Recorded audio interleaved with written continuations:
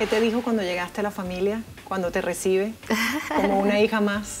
Sí. Seguramente sí. así fue. Sí, claro. Sí, tengo De hecho, así le llamó una hija que, que nunca pudo tener, supongo.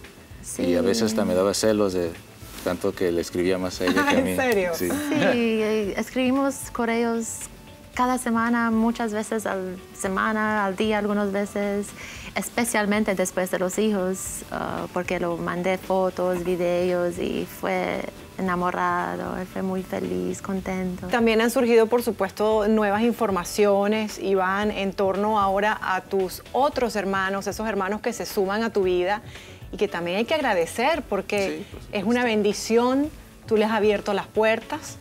Ellos son eh, Joao Gabriel Aguilera, Luis Alberto y ahora hay una niña, hay una hermana. De eso ni sé, pero siguen saliendo, o sea... ah, No, prepárate, esto es largo. sí, es lo que me La familia la crece gente. cada día. Bueno, Pero- pero no, familia con- numerosa. Con, por ejemplo, con Luis Alberto ya nos hemos hablado, nos escribimos y la verdad que es un muchacho, bueno, ya es hombre, pero es muchacho muy, muy buena onda y parece que ya nos habíamos conocido de hace años, o sea, fue muy fácil ah, convivir, supongo, y, o, o platicar entre nosotros. Y, y como dice usted, es una bendición que yo a veces no entiendo por qué la gente dice que, que nos peleamos y eso, pero sí, yo lo, lo vemos como una bendición que, que tenemos más hermanos, Claro. ¿verdad?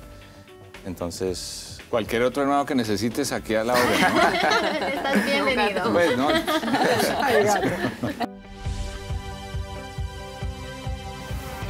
Llama a tu operador de TV Paga y pide Hola TV.